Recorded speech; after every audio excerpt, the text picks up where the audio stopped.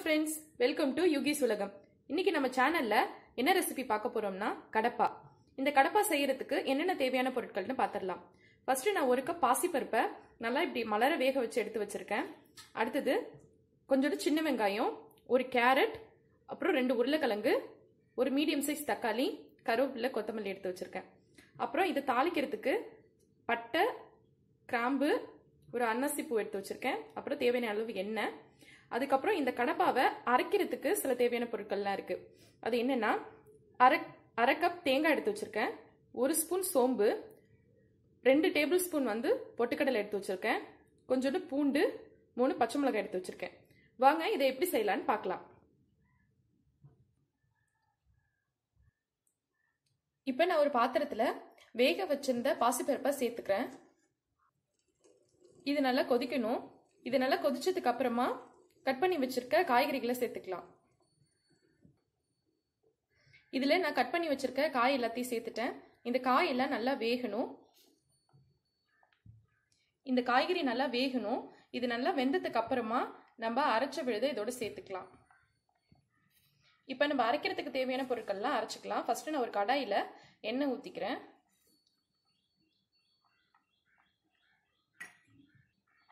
First சோம்பு சேர்த்துக்கிறேன்.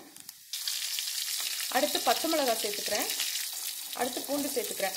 இது ஃபஸ்ட்டு நல்லா வதக்கிக்கோங்க. இதில் தேங்காவையும் பொட்டுக்கடலையும் சேர்த்துக்கலாம். இதை நல்லா வதக்கிக்கணும். இது மாதிரி நல்லா வதங்கினதுக்கப்புறம் இதை அரைச்சிக்கலாம். இப்போ பாருங்கள் காய் நல்லா வெந்துருச்சு. இதில் அரைச்ச விழுதை நான் சேர்த்துக்கிறேன். பாருங்க நல்லா நைஸாக அரைச்சி எடுத்து வச்சிருக்கேன். இதை நான் இதில் சேர்த்துக்கிறேன். இதில் அரைச்ச விழுதை ஊற்றிட்டு உங்களுக்கு தேவையான அளவு தண்ணி சேர்த்துக்கோங்க. இப்போ இதில் தேவையான அளவு உப்பு சேர்த்துக்கிறேன். இது நல்லா கொதிக்கணும். இப்போ இதை தாளிச்சுக்கலாம். நான் கொஞ்சமாக எண்ணெய் ஊற்றிக்கிறேன் இதில் பட்டை லவங்கம் நான் முக்கை சேர்த்துக்கிறேன். இது நல்லா கொதிச்சிருச்சு. இதில் தாளிச்சதை நம்ம சேர்த்துக்கலாம். இதில் கட் பண்ணி வச்சுருக்க கொத்தமல்லியை சேர்த்துக்கிறேன். பாருங்க சூப்பராக ரெடி ஆயிடுச்சு கடப்பா. இந்த கடப்பாவை நீங்கள் இட்லி தோசை கூட சாப்பிடும்போது ரொம்ப சூப்பராக இருக்கும்.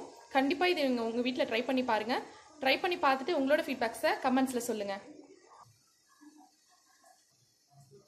இந்த வீடியோ உங்களுக்கு பிடிச்சிருந்துச்சுன்னா லைக் பண்ணுங்க ஷேர் பண்ணுங்க. மறக்காம சப்ஸ்கிரைப் பண்ணுங்க. தேங்க்யூ